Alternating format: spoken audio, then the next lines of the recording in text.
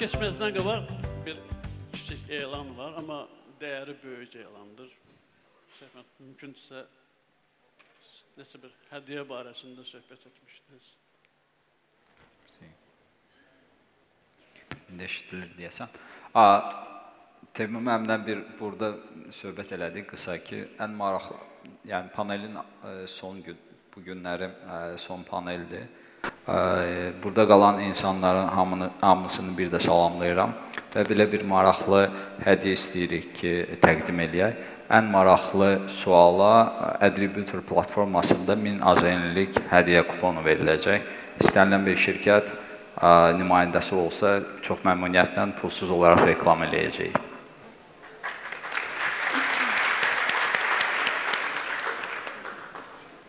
Yaxşı hədiyyədir. 1000 1000 manatlıqdır, amma gəlin faydalanın. Bayaq e, Agilvedən e, sitat gətirdilər. Bir də e, Leo Barnett var. Onlar doğrudan da böyük şəxsiyyətlərdir.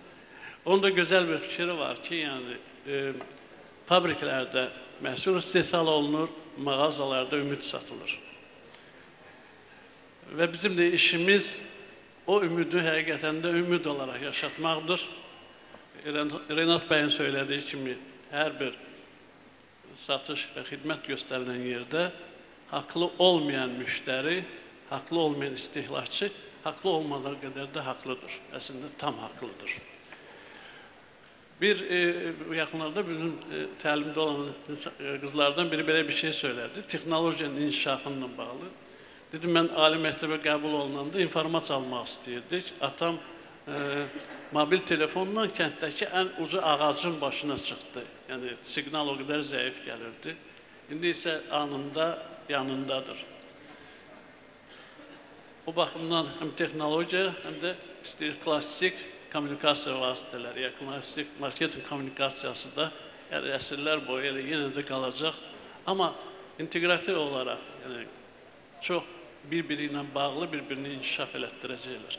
Mənim də zənnimcə e, dominant prioritet rəqəmsalın üstünə keçəcək və yaxın zamanda da buna hazır olmaq lazımdır. İkinci bir tərəfdən də qarşıdan böyük bir sevindirici kimi üçünsə, kimi kədərləndirici bir problem gəlir, robotlaşma. Ona da hazır olmaq lazımdır. Peşələrin bir çoxu səhnədən çıxacaq, peşələrimiz çox məhv olacaq, yeniləri ortaya gələcək. Ona görə də həm klassik marketinq kommunikasiya kanalları, həm də müasir kommunikasiya kanallarını bizdən əvvəl söylədikləri kimi strateji marketinqin bütün elementlərinin orqanik üzvü əlaqədə sabaha aparmaq lazımdır. İndi bizim spikerlərə e, mən öz adımdan təşəkkür eləyirəm. Əgər sizin marağınızı ciddi qarşılanırsa, siz də təşəkkür eləyin. Və axşama doğru mümkündürsə suallarınızı verin. Yəni mən sualı vaxt verilmir. Ya tam aydındır, ya heç nə aydın deyil. İndi hansıdır? Kimdir? Buyurun. Önce sonra siz. Yəni, yəni əvvəl siz, sonra sizdən arxada Nəvayət Abdullayev, Aqraves şirkəti Horiki menecer. Sualım Kapital Bankı nümayəndəsinədir. Zəhmət olun, özüm də bir bank istifadeçisiyəm, amma bir problemlə yanaşıram burada. Məncə aradan qaldırmağa kömək eləyərsiniz. Bilirsiniz ki, offline rejimdə işləmir bir bank. Yəni həmişə onlayn rejimdə işləyir. Məsələn, eyni vaxtda mənim həm balansım bitibsə və bir bankdan istifadə edirəmsə, olmaz ki, milyonlarca kredit verən bir bank bizim istifadə elədiyimiz operatorla hər hansı bir işbirliyi yaratsınlar. 50 MB-lik bir kredit alsınlar, bizə ötürsünlər. Biz o balansımızı dolduraq, sonra da bir bankdan istifadə eləyək. Yəni bu sadəcə təklifdir. Təklifiniz üçün çox sağ olun. Nəzərə alarıq. Mümkündürsə təbii ki, tətbiq eləyərik. Məncə mümkündür, məncə mümkündür. Sağ olun, çox sağ Çox olun. sağ olun.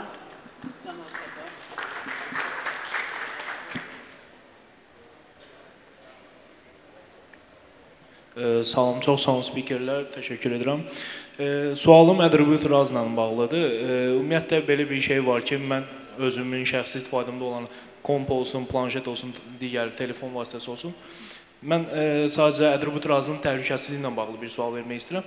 adblock yazmışam, ümumiyyətlə bir dənə reklam görmürəm. E, girirəm hansısa bir sayta, qırağında çıxan banner, reklam falan hamısı bağlanır. Sabah e, Attributor yeni bir e, proyektdir, mən bildiyim qədər. E, bu hansı problemlərlə qarşılaşa bilər? Çox sağ olun suala görə. Adblocker ümumiyyətlə belə deyək, daha çox qərbdən gəlir və Amerika, Avropa ölkələrində də bu problemlə rastlaşırlar. Ciddi şəkildə reklam bazarına təsir göstərir və bunu nəzərə alaraq təbii ki böyük platformalar, böyük şirkətlər də bu tip blok sistemlərindən kənara necə keçmək haqqında fikirləşirlər.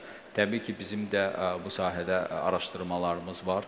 Biz də trendləri izləyirik və ə, nativ dediyimiz reklam formatına bir növ keçid də elə bu ilə bağlıdır ki, artıq ə, müəyyən ə, hansısa blok sistemlər vasitəsilə reklamlar dayandırılmasın, daha çox nativ olsun, çox qıcıqlandırıcı olmasın.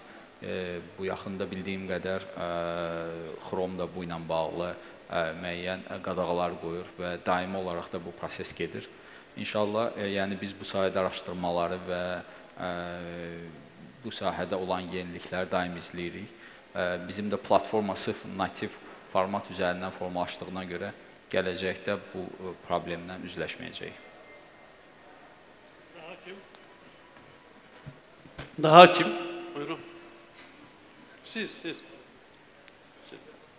Tamam. Buradan getirelim. internet.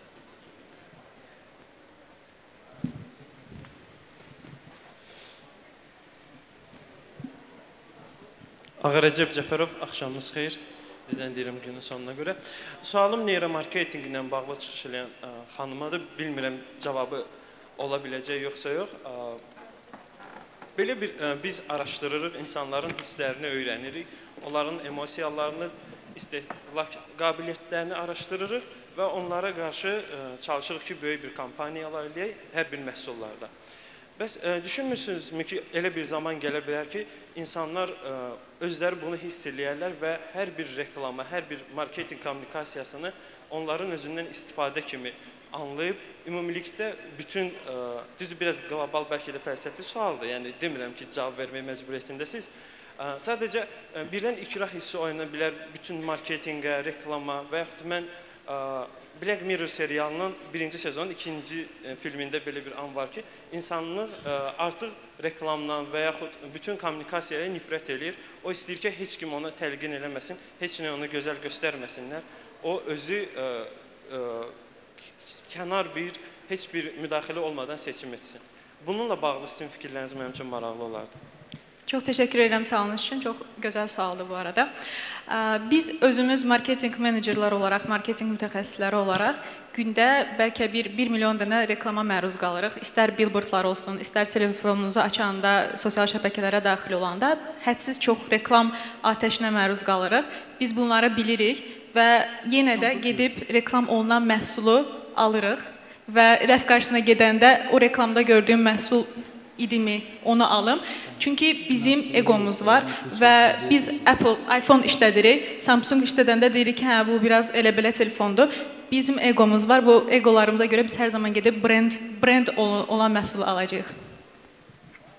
İstehlakçılar olaraq egomuz var, yəni şəxsi egodan danışmıram. Sol tərəfə gələk. Siz öncə xanımın yanında oturun. Siz, siz, siz. hə, hə, siz. Sonra siz arxaya keçin. Hamını salamlayıram, Elmir Kərimli. Sualım Günel xanımadır. İlk öncə təşəkkür eləyirəm ki, ən yeni case paylaşdı. Sualım e, məhz gözləmə viral kampaniyası ilə bağlıdır. Hansı müddətdə davam elədi? Əgər mümkünsə büdcəni açıqlayardınız, mümkündürsə. Bir də gözləmənin gözləmə viral kampaniyasının əsl məqsədi nə idi? Yəni gözləmədə iştirak edənlər sonradan onun hansı faizi sizin ə, appinizi yüklədi? Yəni belə bir statistika varsa xahiş edirəm bölüşərdiniz. Təşəkkürlər. Deməli, teaser olaraq kampaniya cəmi 2 həftə getdi. E, ola bilsin 2 həftədən 1-2 gün daha çox.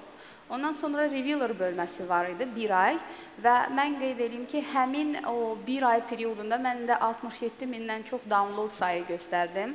Həmin o birinci ayda biz 30 min download aldıq. Yəni ə, mən düşünürəm ki, təbii bizim ə, orada interactionumuz çox yüksək idi. 1 milyondan artıq reachimiz var idi, amma onunla belə faktiki, ə, yəni əlinə telefonu götürüb mobil tətbiqi tətbiq ə, install edən insanların sayı 30 mindən artıq oldu.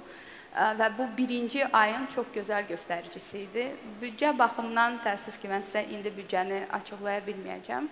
Amma ə, deyim ki, biz bu kampaniyaya yəni milyonlar xərcləməmişik. Çünki digital tərəfdə də, Markom tərəfdə də planlı və bir-birini tamamlayan ə, kommunikasiya vasitələrini seçməyə qərarına gəldik. Belə. Orada lap Ahaqada Nargin adasında iki nəfər yan-yana oturubdur. Onlara necə mikrofon necə verəcəksiniz onlara?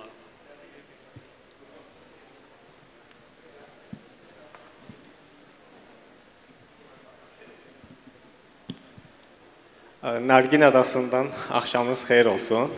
Rafət Şirəliyev. Sualım Rasim bəyədir. Küçə reklamlarında neçə nəfərin billboardların və yaxud da yəni reklam lövhələrinin yanından keçməsini, lövhələrə baxmasını müəyyən edən hər hansı qurğu varmı və yaxud da avadanlıq varmı?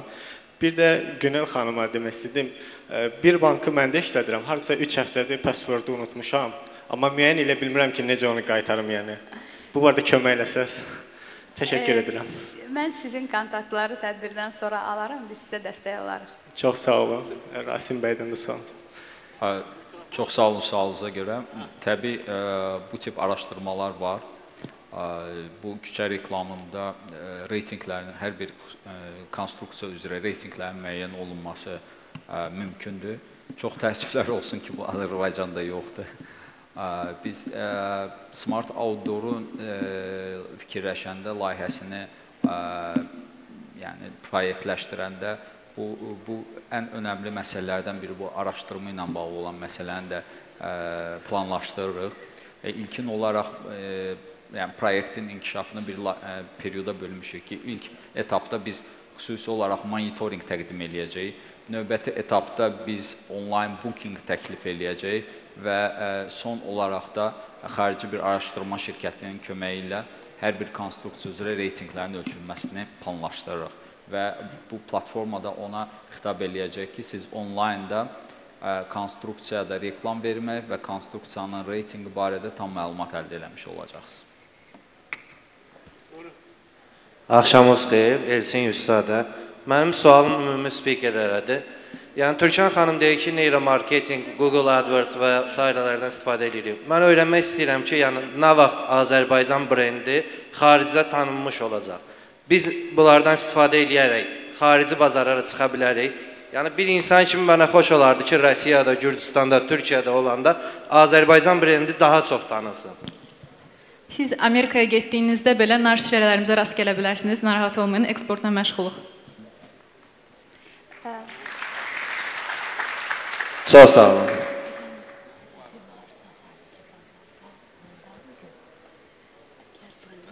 Teymur müəllim, çox sağ olun, təşəkkür, sağ olun verdiyiniz üçün. Ə, Mənim sualım Rəşad Hüseynov özümü təqdim edeyim. Sualım Türkan xanıma olacaq. Ə, Türkan xanım, çox sağ olun dəyərli məlumatlar üçün. Artificial intelligence və neuromarketinqdən danışdınız. Amma nəzəri olaraq danışdınız. Mənim əsas maraq dairəmdə olan işin praktikasıdır. Yəni siz azqranata olaraq neuromarketinqi vitamin şirələrinin bazarda yerləşdirilməsi, distributorluğu, satışı və yaxud da reklamında hər hansı bu artificial intelligence və yaxud da ki, neuromarketinqdən istifadə edirsiniz. Məsələn, deyə bilərsiniz ki, Rəşad, biz tutaq ki, mağazalarda vitamin C yerləşdirərkən kişiləri nəzərə alıb enerji drinklərin yanına, qadınları nəzərə alıb pomadalar, pudraların yanına yerləşdirir ki, satışı artsın. Bu kimi bir e, praktika var, yoxsa danışdıqlarınız ancaq nəzərdən ibarət idi? Praktiki olaraq reklamımızdan danışmaq istəyirəm. E, çünki digər sual verdiyiniz tərəf trade marketinqə aiddir. Mən brend market brendə yönəlik marketinqdən danışıram və vitamin reklamının ən son e, versiyasını, yəni ən son reklam çarxını görmüsünüzsə vitaminin, orada duyğulara xitab elədiyimizi çox açıq şəkildə görəcəksiniz və bunun e, ən yaxşı tərəfi isə paylaşıldığı andan 1 saat sonra insanların orqanik olaraq bu reklamı paylaşmağı idi və mən ətraflı bu haqqda danışmaq istəmədim vitamin кейsinə, çünki Anar müəllimin kitabında var. Onu alıb oxuyarsınız. Orada detallı olaraq araşdırmamızdan və 1 il ərzində bizim e, planladığımız e, reklam strategiyasından və kommunikasiyalarından danışmışıq. Təşəkkür edirəm sağolunuz üçün. Şad Abbasov, hər kəsi salamlayıram. E, sualım Günel xanımadır. İlk öncə e, Kapital Bank olaraq bütün yəni gözəl məhsullar hazırlayırsınız. Yəni bugünkü gündə verdiyiniz kreditlər göz önündədir. Yəni hər dəfəsində kampaniyalar keçirirsiniz. Amma ə, e, rahatlığımıza zəmanət olaraq belə deyim, ə, e, Paşa bankdan maaş alanlar istədikləri bankomatdan maaşlarını çıxarda bilirlər faizsiz.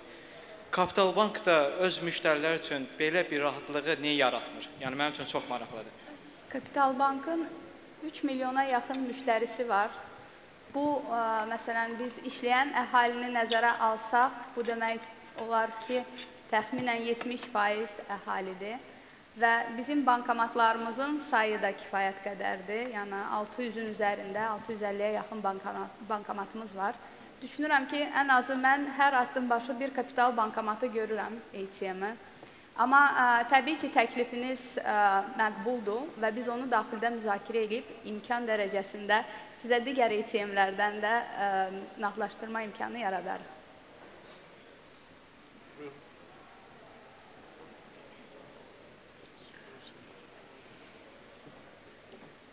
E, mənim sualım Türkan xanımadır. Neyrotexnologiyadan danışdı, səhv eləmirəmsə. İsmailova Çinari BBNA saytına.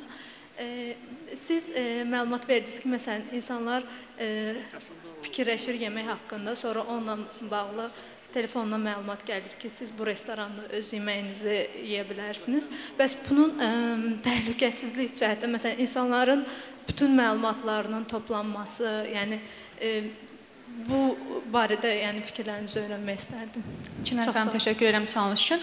Ümumiyyətlə insanlar özləri öz haqlarında informasiyalarını sosial şəbəkələrdə paylaşdıkları müddətcə bu təhlükələrlə qarşılaşacaqlar. Bunu Facebookun bu yaxınlarda, yəni yaxınlar deyirəm, yaxınlarda olan hətta Facebook Mark Zuckerbergin sorğusunda belə gördünüz ki, bizim informasiyalarımız heç də təhlükəsiz deyil. Buna görə bizim iletişim fakültəmizin direktoru hər zaman bizə deyirdi ki, çalışın körpə uşaqlarınızın şəklini sosial şəbəkələrdə paylaşmayın. Çünki siz onun gələcəyini təhlükə altına atmış olursunuz. Onun e, göz açdı, danışmağa başladığı müddətdə artıq o həmin e, planlaşdırılmış marketinq e, reklamlarına məruz qalacaqdır. Mən üzr istəyirəm, bu suala mən də cavab verim. Əslində təhlükəsizliyi ilə bağlı hal-hazırda çox ciddi işlər gedir. Bildiyiniz kimi blockchain texnologiyaları var və IoT dediyimiz, yəni Internet of Things sırf artıq blockchain sisteminə keçirilir. Yəni bu olduqdan sonra artıq hər şey desentralize olacaq. Yəni heç bir kənar ə, qüvvənin, heç bir kənar ə, müdaxilənin bu sistemi ə, müdaxilə edə bilməyəcək.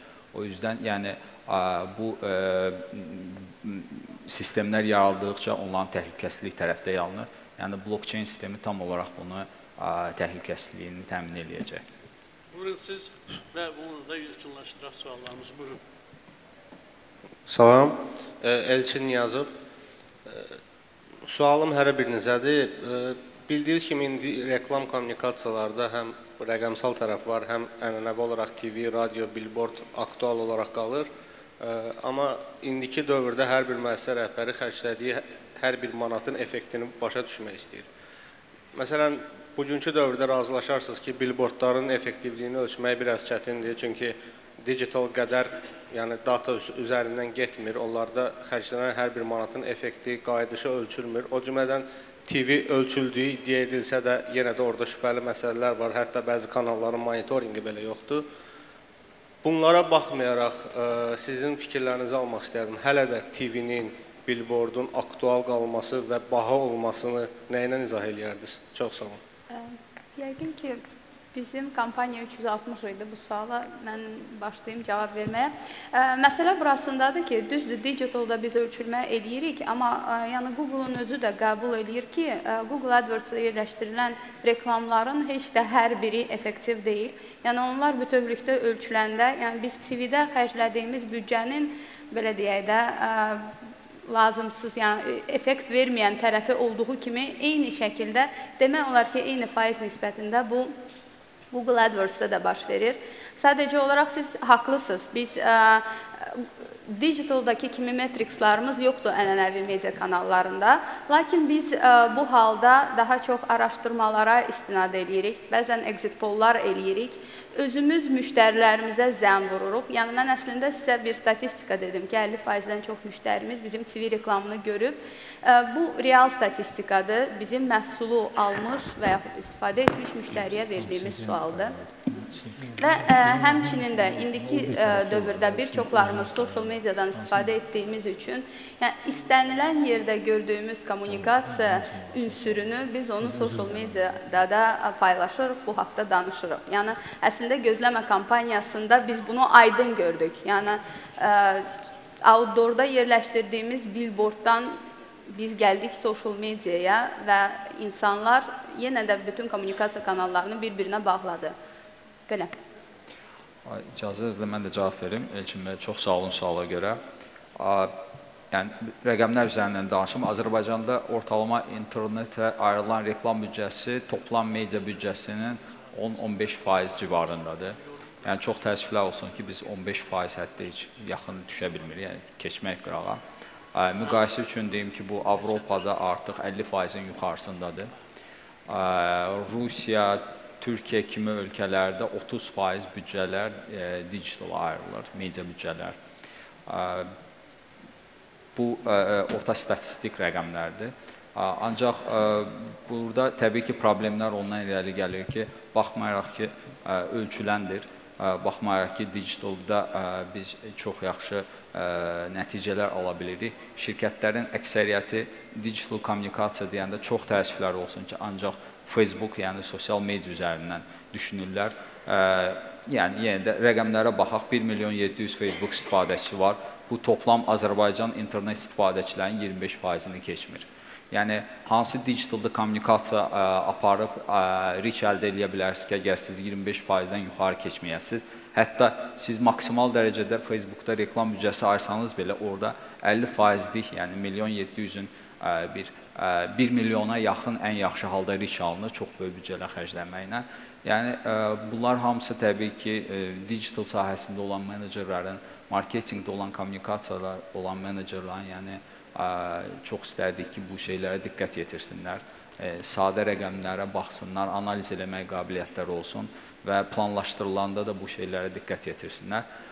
Media tərəfdən televiziya və outdoorun qiymətlərinə gəlincə mən onları çox baha deməzdim. Əksinə Azərbaycanda çox ucuzdur qiymətlər. Xüsusilə də televiziyada olan bir reytinqi qiymətinə baxdıqda qonşu ölkə Gürcüstandan biz 2 dəfə ucuzuq. İqtisadi və adam başına düşən reklam xərcindən baxdıqda, yəni müqayisə olunan belə deyil. Bu da çox üzücüdür. Hal-hazırda bir marketinq kommunikasiyaları assosiasiyada yanır. Yəni bu şeylərə də diqqət yetirsələr çox yaxşı olar. Məncə əksinə ənənəvi mediada qiymətlər çox artmalıdır ki, oradan sonra mənim şirkətlər digital mediada diqqət yetirsinlər, ora büdcələri normal büdcələr ayırsınlar. Rasim işimizi çətinləşdirməyin. Bir, işimizi bir, çətinləşdirməyin. Bir xahişim var. Bizim e, e, bu, bu sahəni icarə zamanımızı keçdik. Yəni əslində biz yəni pis qonaq kimi dayanmışıq burada. Ona görə də belə bir şey eləyən. Tükan xanım sualın qalibini, adını, familiyası, soyadını e, söyləməyə bilər, çünki unudulmuş ola bilər, amma sual sahibi dərhal biləcək. Əgər burada yoxsa sabah gələndə o sual sahibini tapıb, yəni o haqqını ona vermək lazımdır. Kim ola bilər? Çox dəyərli suallar idi hər biri. Mənim bilmirəm həmkarlarım da razı olarlarmı? Mənim ən çox bəyəndiyim sual neuromarketinqlə bağlı bəyin verdiyi sual idi. Adım yadımda qalmadı amma çox fəlsəfi də olsa çox maraqlı idi. Marketinqin fəlsəfəyə yaxınlaşdığı an idi. Bu gün üçün, bu tədbir üçün hər birinizə təşəkkür edirəm. Çox sağ olun. Və bu çox e, yəni həyatıma yazılmış bir gündür. İkinci tərəfdən sizin hər birinizə e, təşkilatçı olaraq Rafiq müəllimə, İlkin müəllimə, Anar müəllimə təşəkkürümü bildirirəm. Çünki bu çox gərəkli, çox faydalı və çox ehtiyacımız olduğu bir tədbirdir. Bəlkə də ildə bunu iki dəfə keçirəsiniz, bilmirəm. Üçüncüsü isə sözü öz sahiblərinə qaytarıram. Gözəl xanım. Sağ olun. Təşəkkür edirəm sizin hər birinizə. Çox maraqlı bir ə, panelin də sonuna gəldik. Bir daha sizə iştirak üçün təşəkkür edirik. Əgər Xətai kimi ə, sualınızı tamamlaya bilməmisinizsə, siz ə, Sat qrupun stendinə yaxınlaşa bilərsiniz. Orada vizit kartınızı atsaz, sabah sizə oradan da hədiyyələr verilə bilər. Sabah sizinlə yenidən görüşürük. Ona görə sağollaşmırıq, hələlik deyirik. Sabah biz milli кейslər, rəqəmsal marketinq və FMCG panellərini dinləyəcəyik. Saat 9:00-da hər birinizi burada gözləyirəm. Hələlik görüşərik.